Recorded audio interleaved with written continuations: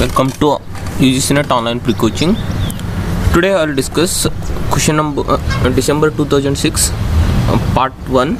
Already I have completed June 2006. Today I will start new series December 2006. In this first we'll see first question of uh, December 2006. Which of the regular expression corresponds to this grammar? Most of the time i told you finite automata uh, is very important subject. Mo- definitely will get 8 to 10 questions. Please go through first you should cover finite automata with compiler design. Okay? Look at this question. They are given two production three productions. S a b and as a is a production one more production. A or a a. B is one more production tends to b. They have given three production. Is it generates uh, expression a a a star b plus or a a star b or a b whole star? A a b whole star.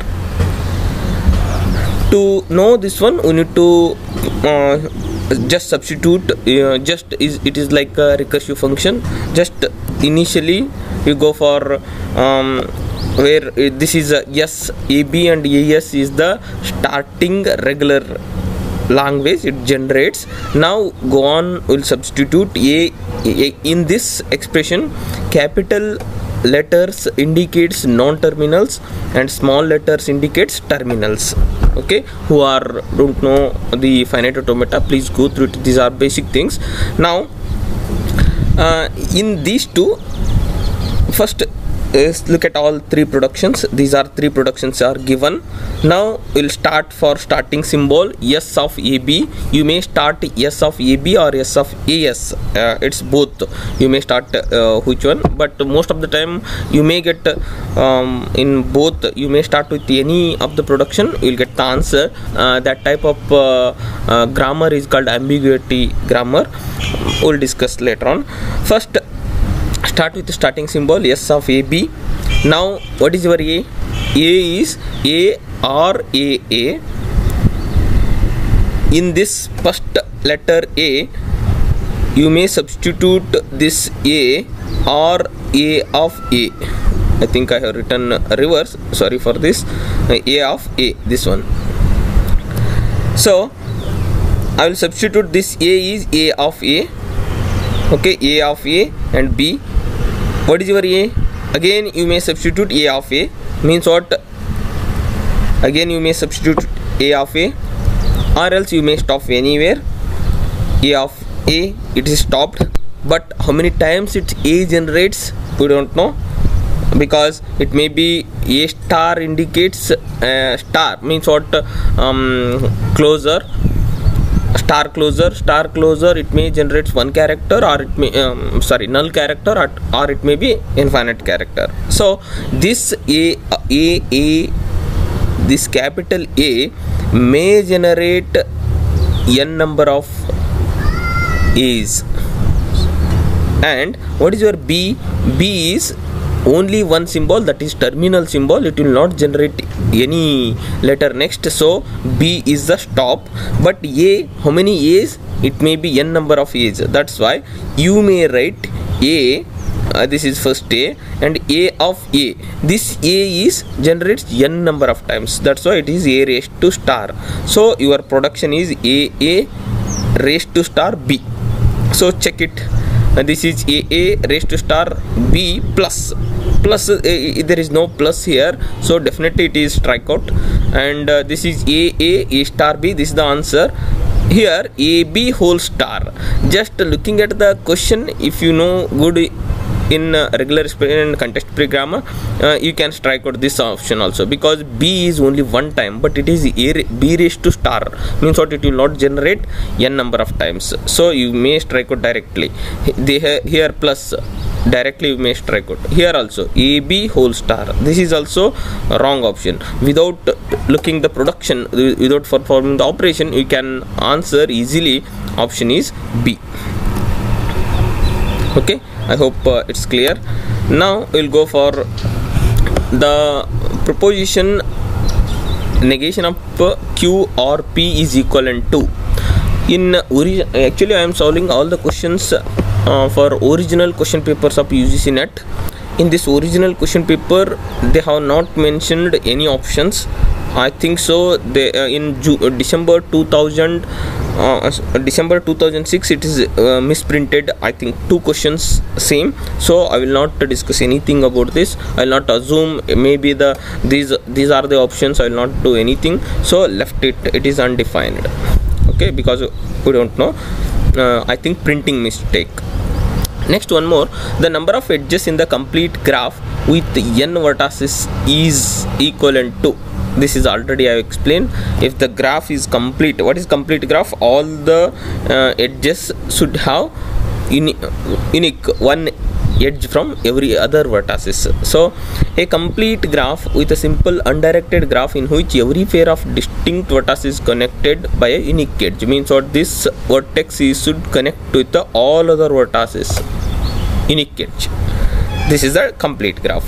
So how many um, edges if it is complete graph? Definitely it is n into n into n minus 1 by 2 i think this graph we will use in mesh topology okay uh, so i hope uh, complete graph means what a complete graph is simple undirected graph in which every pair of distinct vertices is connected by unique edge means what one vertex is connected with the all other vertices so uh, this one asked just uh, june 2006 sec- uh, se- question number 2 next we'll go for which of the following is not true. Again printing mistake. Um, they have not given option a c d. So without uh, knowing it's uh, difficult to answer. So definitely it is undefined. I will not uh, discuss anything about this.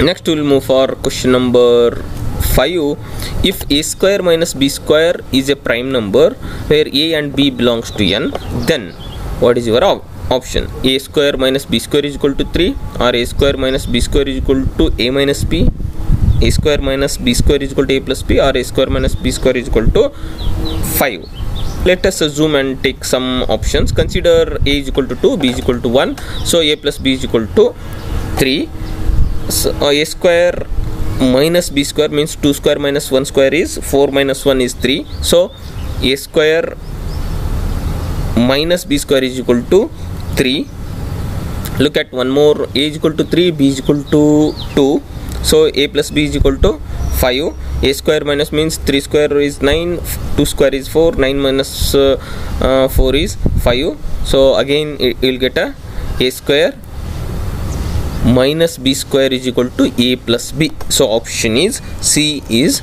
right answer next look at the hexad- hexadecimal equivalent of 10111 means binary they have given. We need to find of hexadecimal of these two numbers. Just you take multiple sub 2 uh, to solve this one you know how to convert uh, uh, binary to hexadecimal but uh, uh, you do it in a easy way. You take uh, uh, just powers up to 2 raised to 0 2 raised to 1 2 raised to 2 2 raised to 3 2 raised to 4 means what 1 into 2 raised to 4 0 into 2 raised to 3 just write this one you will get answer is 23 means 2 raised to 4 is 16 2 raised to 3 is uh, 0 into leave it uh, 2 raised to 2 is 4 16 plus 4 is 20 20 plus 2 is 22 plus 1 so 23 um, and uh, this one is 2 raised to 1 uh, 2 raised to 0 is eliminated. 2 raised to 1 2 raised to 2 2 raised to 3 2 raised to 3 is 8 2 raised to 1 is uh, um, 2 8 plus 2 is uh, 10 plus 11 sorry 14 so you'll get uh, 8 plus 4 plus 2 is you'll get a 14 so 23 now you multiply these two you'll get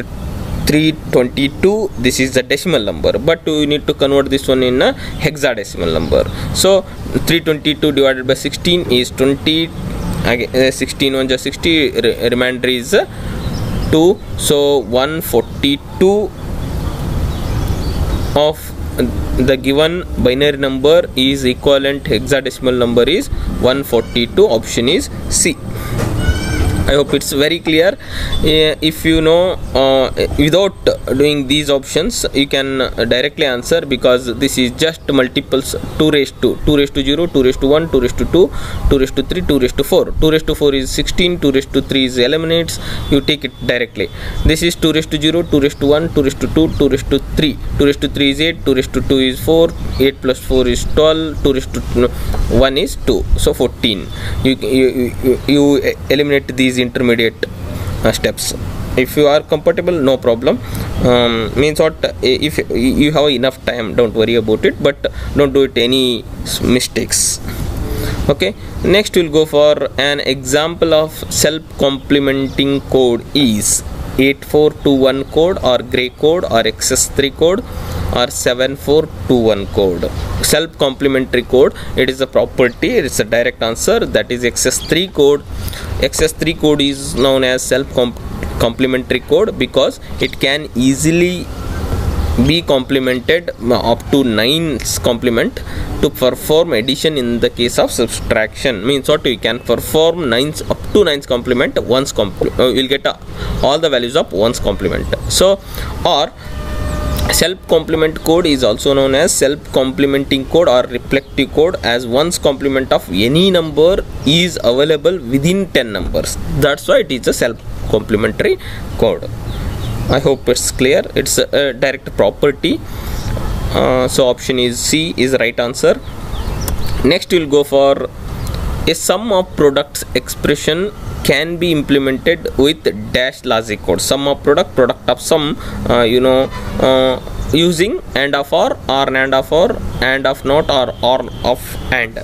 Sum of products that is first multiply then add that's why sum of product sum it will comes in between product is operators uh, in between so operands. So sum of product first multiply then add. So sum of product is and of or. Product of sum is or of and. So be careful. So sum of product is and of or. Option is a is right answer. Now look at the characteristic equation of a d flip flops. Already i have explained in uh, december 2004 question number 10 it may ask any uh, actually in the in uh, 2004 they asked jk flip flop characteristic of jk flip flops. But here they asked characteristic of d flip flops. So it may ask any character it may be a sr flip flop in future.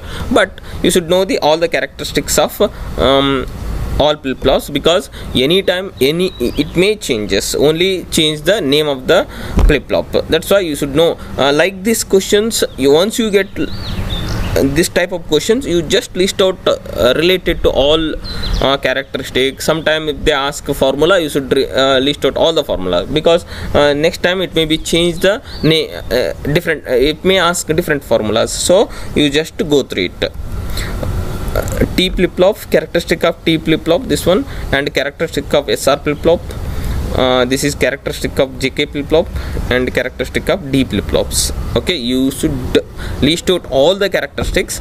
It may ask any question you can answer it. Okay now you can answer easily. The characteristic equation of a D flip flop is D. This is so option is B. This is characteristic Q equal to D I hope it's easy. Uh, what I'm trying to explain, you just list out all the formulas, all important properties and characteristics. Just list out uh, all subjects like this only. Next, we'll go for which of the following logic is the fastest. Just look at in uh, two year. This is asked third times, repeated question. This one is a fixed question almost. It will ask one question for characteristics. So please, um, please, you look at this question. It's very, very, very important. just look at uh, June 2005 is asked June 2006 again now it is December 2006 again same question.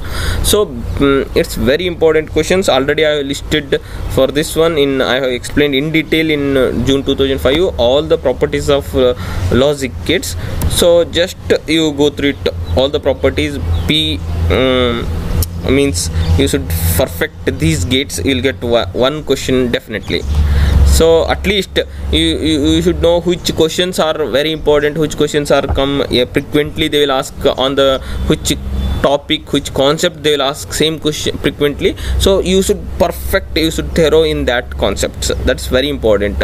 So which of the following logic gate is fastest?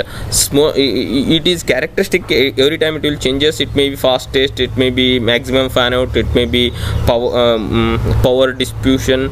Uh, it, it may ask any type of characteristic based on the uh, logic. But you should know the all the uh, these list of logic gates